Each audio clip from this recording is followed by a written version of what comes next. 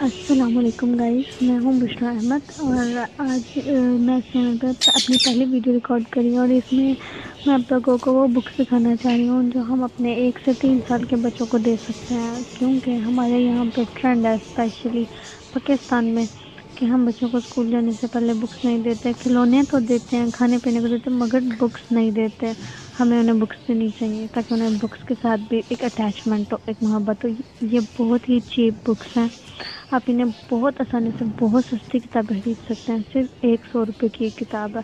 आप ये उर्दू बाज़ार से जाके परचेज़ करें ताकि आपके बच्चों को भी अटैचमेंट हो बुक्स के साथ। और अपने एक से तीन साल के बच्चों को ये बुक्स लाकर ज़रूर दीजिए, क्योंकि ये उनके लिए बहुत बेहतर है। आप उन्हें चंद किताबें ला कर दें ताकि उनके दिल में खिलौनों के साथ जो अटैचमेंट है, जो लव है, जो दूसरी चीज़ों के साथ है, वो बुक्स के साथ भी पैदा हो। और ये जो बुक्स हैं, ये बहुत हार्ड